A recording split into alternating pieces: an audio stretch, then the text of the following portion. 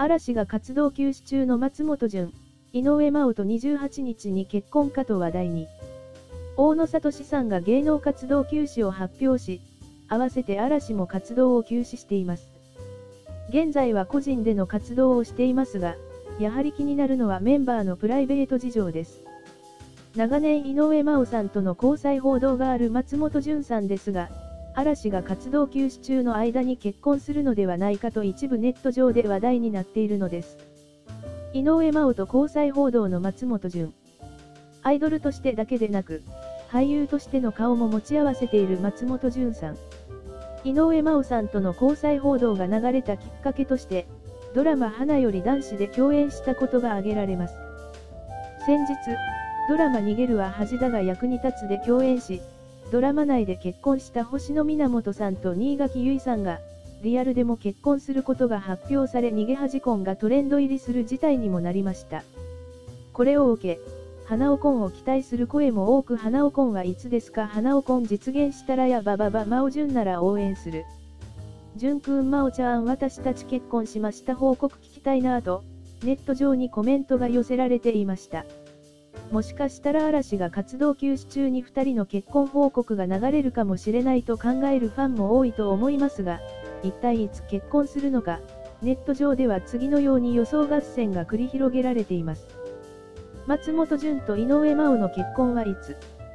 ジャニーズアイドルの結婚報道というと、何にかと炎上しがちですが、松本潤さんと井上真央さんの交際報道についてはおおむね好意的な意見が多い印象です。結婚したらお祝いする準備はできている。というファンも多いですが、一体いつなのでしょうか。11月、12月、1月。嵐の活動休止発表が1月に行われたこと、また、嵐メンバーで唯一結婚している二宮和也さんが11月に結婚したことから、1のつく月に何かしら行動があるのではないかという予想です。1がつく月といえば11月、12月、1月が挙げられます。順つながりで6月か。6月はジューンブライドということもあり結婚するカップルが多いですよね。ジューンブライドだからという理由だけではなく、準々準6月という方程式が成り立つことからも、6月結婚説はあり得るかもしれません。28日に結婚か。1月く月、それとも6月なのか。2人が結婚するのは一体いつなのか気になるところですが、ファンがこの日に結婚してほしい。という日があるのです。それが28日なのです。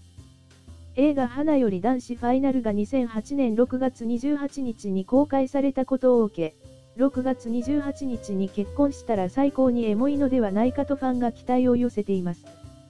一体2人の結婚はいつになるのか。ファンがこれほどまでに結婚を待ち望んでいるジャニーズアイドルは他にはいないのではないでしょうか。私のビデオを見てくれてありがとう。最新のビデオを受け取るために私のチャンネルを購読してください。